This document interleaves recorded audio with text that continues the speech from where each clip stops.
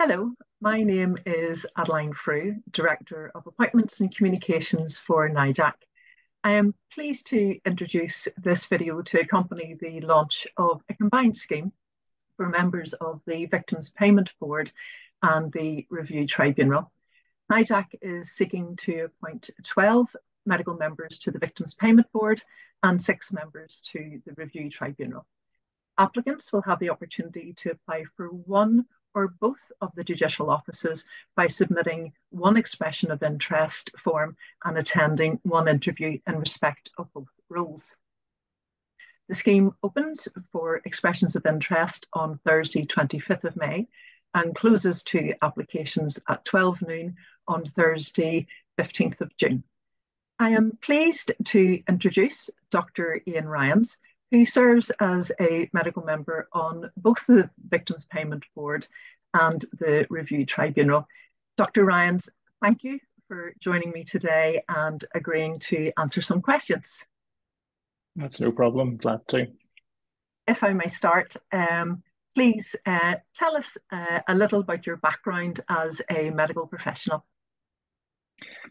Thanks, Adeline. Yeah, I have worked as a GP throughout my professional career, and I was a partner in Carrickfergus for 10 years, and then more recently for about 14 years in Dundonald.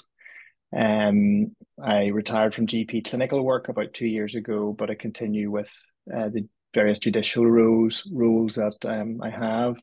I suppose my career although not known as a portfolio career at the beginning, has it's typical of that portfolio career um, setup.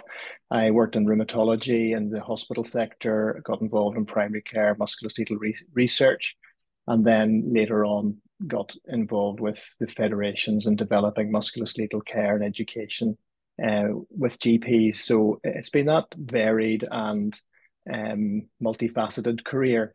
Um, and I can, throughout that period, I've been involved with different judicial roles within various tribunals to various degrees throughout my career. And, and how long have you served as a medical member? Well, in terms of in general, generally speaking, I started in the appeals tribunal way back in 1994, uh, so it's coming up on 30 years. So that's uh, a long time. But uh, in terms of the other tribunals, I've been in the Criminal Injuries Tribunal for about 10 years. And then more recently in 2020, I joined the Review Tribunal whenever the Medical or Men Mental Capacity Act was introduced, and also when the Victims Payment um, Scheme uh, got up and running. I was appointed to the Victims Payment Board just about uh, just over a year ago. Yeah, and and can you tell me something about? Uh, can you give an overview of the work of the Victims Payment Board and the Review Tribunal work? Sure, no problem. Um, firstly, with the Review Tribunal, the um, the role of a generalist medical member uh, is to sit on three-person panels uh, to review deprivations of liberty under the Mental Capacity Act, and that involves I mean, two main groups of people um, firstly, people who have dementia and who are detained in care homes it makes up a, a large part of that workload. And all, the second largest group would be people with learning disabilities um, who are in similar types of uh, situations where they're not free to leave under or they're under constant supervision or control. So that would make up maybe 99% of the cases that we would see. Um, uh, the decisions um, that are made by the, the, the panels relate to ensuring that the trust have shown that there is appropriate care and treatment available for the people and that uh, there is significant risk to the person if they're not detained in that way and that they lack the lack of capacity to make a decision for themselves has been established. Uh, so as a panel member, as a medical generalist panel member, you're presented with the various forms and assessments that have been used as evidence by the trust ahead of the hearing date. And the largest part of that work uh, is probably in the preparation for the for the hearings, in the reading the papers, preparing and, and, and being ready for the the, the hearing. Uh, the vast majority of the Mental Capacity Act cases are carried out remotely on the basis of the papers alone uh, with the three members meeting usually by WebEx uh, with a legal member, a medical member, and an experienced member. And then after sitting and making uh, a determination as a panel, the legal member will write up the decision and the other members will have an opportunity to comment on that uh, and make suggestions on it before it's issued.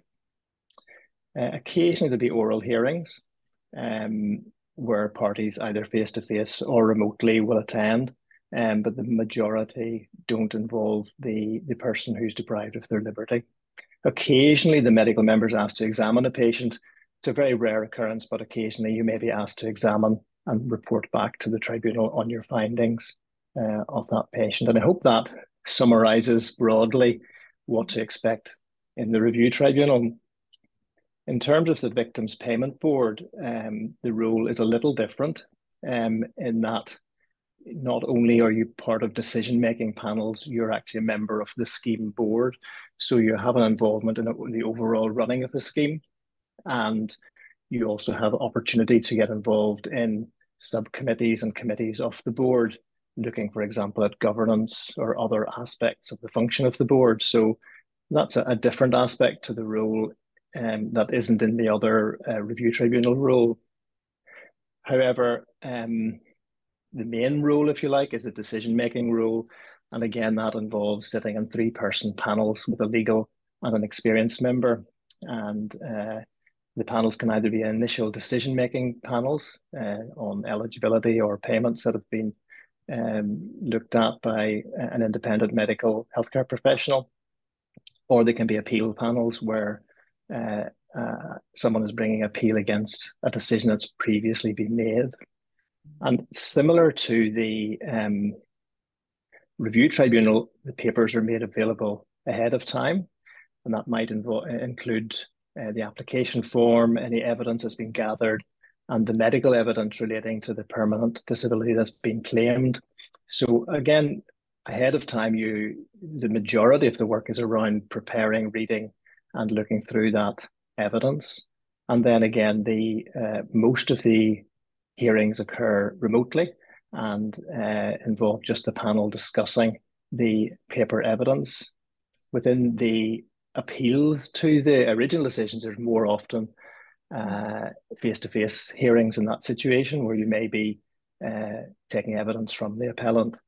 Um, so the work's varied and interesting and challenging at times, um, particularly dealing with victims of the Troubles who have often suffered significant injury and trauma.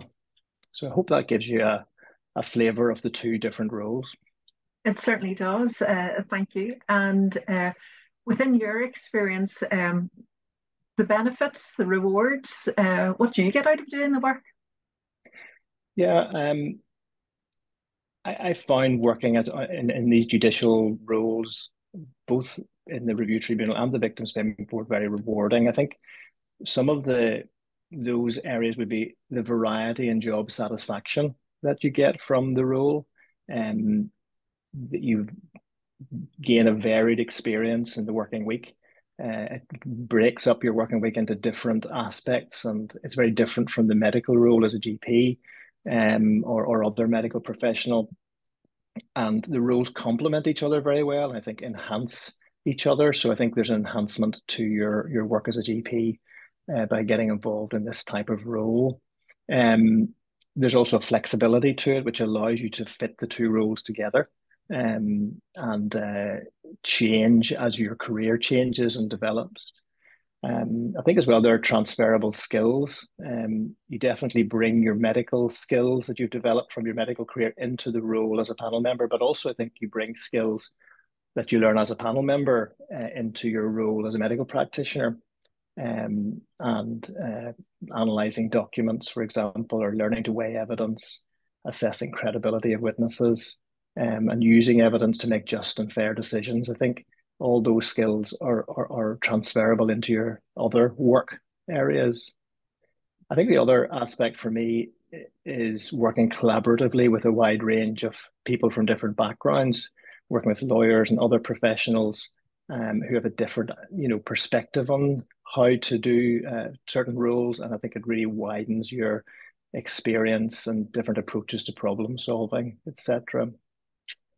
Not least, uh, I think it makes a valuable contribution to society. I think as a member of any of the panels, um, uh, you're contributing to a fair and just decision making process in society, and particularly in the Victims Payment Board, um, that has been set up as a as a way to try to acknowledge the harm that we've suffered as a society and the troubles and the and try to redress to some extent the suffering that people have had in that. And everyone in our society has lived through the troubles either growing up through them or living through the impact of the troubles after their ending.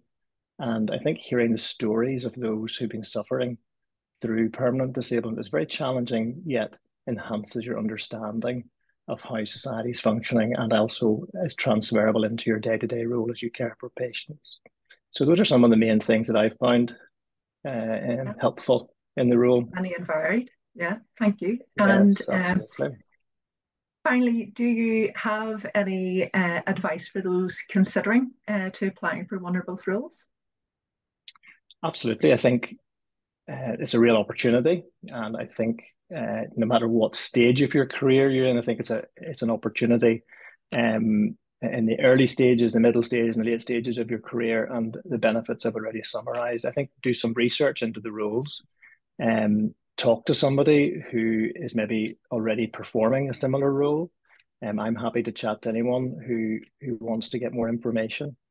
Um, it's also worth maybe going to the VPB website and the DOJ website where you'll see further information about how the board works and how the review tribunal functions. I think that would be a helpful place to find a little bit more about it. There's obviously a job description on the NIJAC website that you can look at and really look, if it appeals to you, I'd say apply for it and go for it. And I think it'd be a really worthwhile role for you to be involved in. Dr. Ryans, thank you um, so much for your time and really helpful um, information. Um, I, am going to conclude uh, by giving um, some further information about the scheme. Uh, to be eligible for appointment uh, as a medical member of the Victims Payment Board or the Re Review Tribunal, a person must be a registered medical practitioner with the General Medical Council. The selection process will involve completing an expression of interest form and assuming you're eligible, an interview via Zoom and a reminder that you have the opportunity to apply for one or both roles by submitting one expression of interest and attending one interview. For further information, as well as those to which Dr. Ryans has signposted, uh, please look at the NIJAC website, which is www.nijac.gov.uk uh, for further information on the applicant information booklet, job description, etc., and other helpful information. The scheme closes at 12 noon on Thursday, 15th of June. Thank you for watching this video and uh, all the very best with your application.